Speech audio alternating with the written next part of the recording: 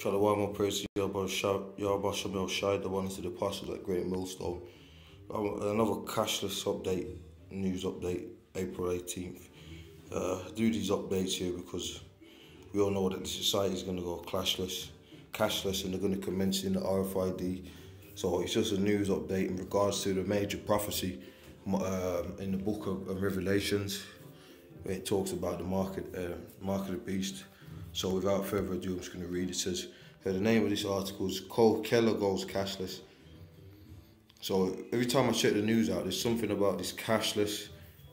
And they mention note, they mention RFID in this. Let me read. With more people referring to preferring the ease that goes with cashless payments, all vendors at this year's Coachella Valley Music and Arts Festival will accept Apple Pay, Android Pay, Samsung Pay via the festival's point of sale provider Square.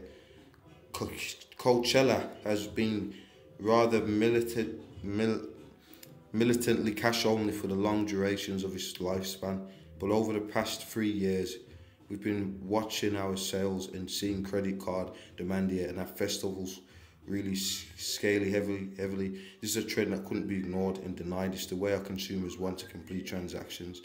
So they're using sources here. It says other other music festivals like Lollapalooza Mysteryland and Austin City Limits recently tried the RFID payment method. So there's many festivals out there now that are using RFID technology as you i.e. no cash to make transactions. It says users where users link their cards as wristbands, so they got it as a wristband as a way for you to get used to uh, uh, just just the, the, what the scripture says. It's, he calls all great and small, rich and poor to receive a mark in their right hand or their forehead. You got a wristband on. That's imitation or, or preconditioning for having something injected in you, so you use your hand to make payments instead of cash. Why would they do that, bro? You not these people, oh, you ain't gonna do away with cash. Well, they're doing away with cash as we speak.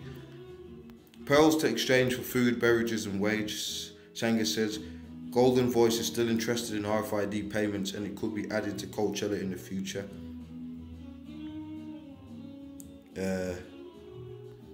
So you get, and they've even got bonuses for if you link your card and stuff. And you know, when it comes to cashless, just as festival go myself, I don't want to have to have to have things in my pocket. So they're pushing it as look, you go to this festival. Look, this look at the benefits, man. Look how look how advanced it is, technology that you don't even need to use cash anything that you can touch, you can just just scan away as you go, and it's all digital. That's that's madness, but that's the system.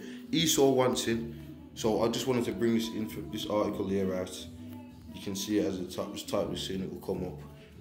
PYMNTS.com, Coachella goes cashless, you'll get it. You know, because you got, I'm just gonna keep, you got morons out there that are coming against the apostles saying that there's the RFID ain't the mark of the beast. All you lads that say that, you're just, you don't know the scriptures you know, you might know you're Israelite and stuff, but there's there's other things, there's major prophecies that pertain to the scriptures that we've all got to get into. This is the Lord's program. So with that, shalom.